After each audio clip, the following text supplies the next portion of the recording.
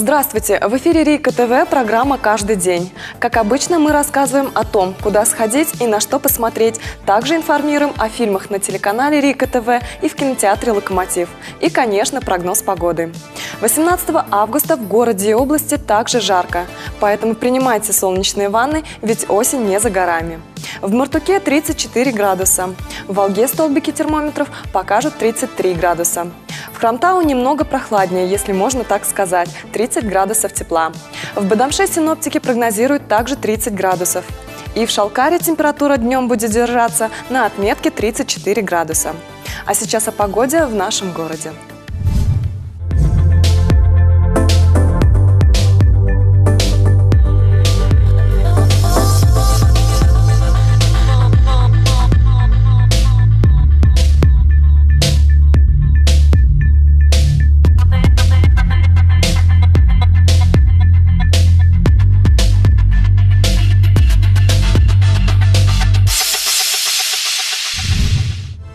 19 августа в 19.00 пройдут показательные выступления фитнес-клубов города.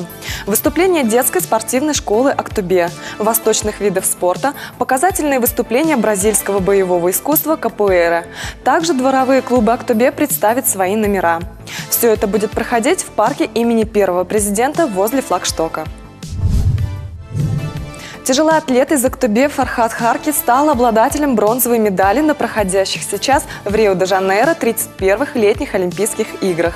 В связи с этим приглашаем всех актюбинских болельщиков на встречу призера 22 августа в 12.00 в аэропорт Актубе. 18 августа в 21.00 на телеканале Рика ТВ смотрите фильм «С глаз долой и сердце вон». Алекс Флетчер когда-то был суперзвездой, но спустя время его популярность стала постепенно угасать и фактически сошла на нет. И вот случай дает ему еще одну возможность. Алексу предложили записаться дуэтом с мегапопулярной певицей. Только для того, чтобы это осуществить, Алексу надо за несколько дней сочинить текст для песни. Наш супергерой никогда в своей жизни не написал ни одной строчки.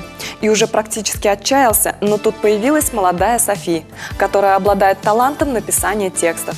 Между Алексом и своей нравной девицей вскоре вспыхнули чувства. А в 00.30 18 августа смотрите фильм «13 район». 2010 год. Париж. Из-за разгула преступности некоторые особо опасные районы французской столицы превращены в закрытые зоны и отгорожены от благополучных кварталов бетонной стеной. За ней бурлит совсем другая жизнь. Здесь процветает торговля наркотиками и оружием. Здесь давно не работают школы и поликлиники. Здесь полиция не стоит на страже закона, а лишь защищает себя или же сама поддерживает беззаконие. Б-13, 13 район. Да, странно, что у этой бомбы такой код. 92, 93 – это номера квартала, где мы находимся. Совпадение. Дамьен, подожди. Эта бомба не должна была сюда попасть. Почему ее код совпадает с номерами кварталов? В любом случае, ее нужно обезвредить. Дамьен, а вдруг все наоборот? Что наоборот? Вместо того, чтобы обезвредить, ты ее взорвешь. У тебя крыша поехала? Тогда бы меня не посылали, она бы сама взорвалась. А как бы они узнали, что бомба в нужном месте? Тебя ведь об этом шеф спросил. Точно ли ты в центре 13 района? Да, но это стандартный вопрос. Это ловушка, Дамьен, я уверен. Мне плевать, не мешай работать.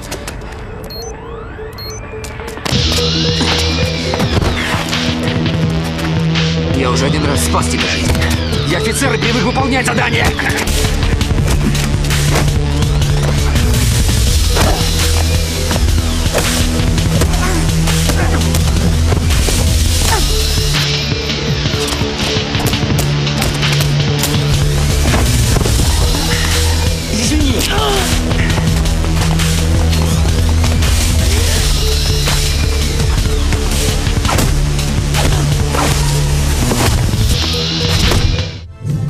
Смотрели программу «Каждый день». Делитесь с нами интересными новостями, и мы обязательно об этом расскажем.